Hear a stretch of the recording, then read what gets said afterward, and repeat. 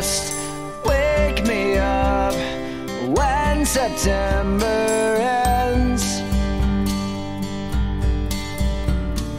Here comes the Good morning, CCHS. Congratulations to the girls cross country team as they placed 7th overall at their home invitational at the Royal Gorge Bridge. Congratulations to the boys cross country team as they placed 13th overall at their home invitational at the Royal Gorge Bridge.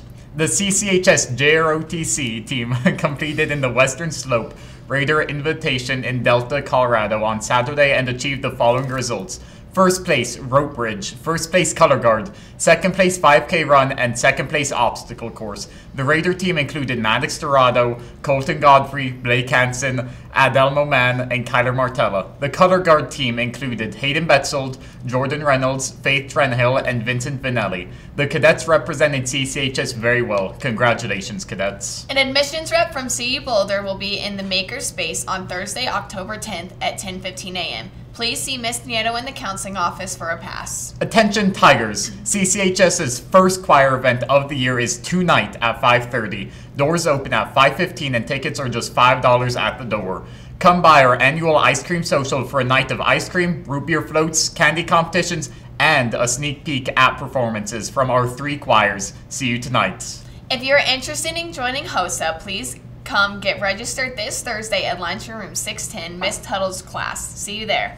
Thespians oh Thespians. It is time for our monthly meeting. That's right, this Wednesday at 3.45 in the auditorium, we will talk about FestCon, have a little bit of fun and games, and talk about how we can support the arts of Cañon City High School. There will be a raffle and there will be treats. See you there. Listen up, gentlemen. Are you going to homecoming? Are you in need of a haircut before the dance? Brandon at Phil's Barbershop is donating free haircuts to the boys of CCHS on October 17th. Spots are limited, so be sure to quickly sign up in Miss Van I Warden's room, room 610, before the week of October 13th. This is Angel Silliman's capstone project about men's mental health. Come support her and get your haircut at the same time. The Bridge is hosting Friday Morning Club for high school students of Fremont County each Friday when school is not in session from 9 to 12 in the mornings. The Bridge would like to welcome students to enjoy the facility, where the cafe will be open. Fresh bagels will be provided and free drinks given to the first 20 attendees each time. For more information, visit the Bridge's website at bridgecanyonscity.com.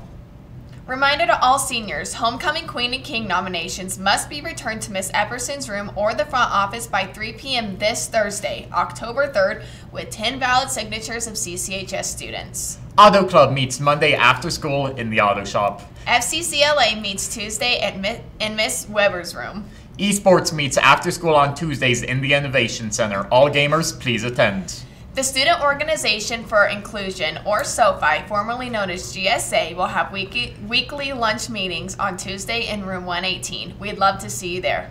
D&D Club will meet Tuesday at 3.30 in room 118. Student Council meets Wednesday at lunch in room 205. Carpentry Club meets Wednesday after school from 3.30 to 5. Skills USA Welding Club meets Wednesday after school. Not sure what to do for lunch on Thursday? Join us in room 606 for uh, games and puzzles. Board Games for Boredom is for all students. Trading Card Game Club meets in room 102 on Thursday from 3:30 to 5. Fly Fishing Club meets on Friday in Mr. Ritter's room, 2.15 at lunch. Good luck to the boys golf team. Our varsity members are playing at regionals today. Today for lunch is beef taco. Have a great day, Tigers.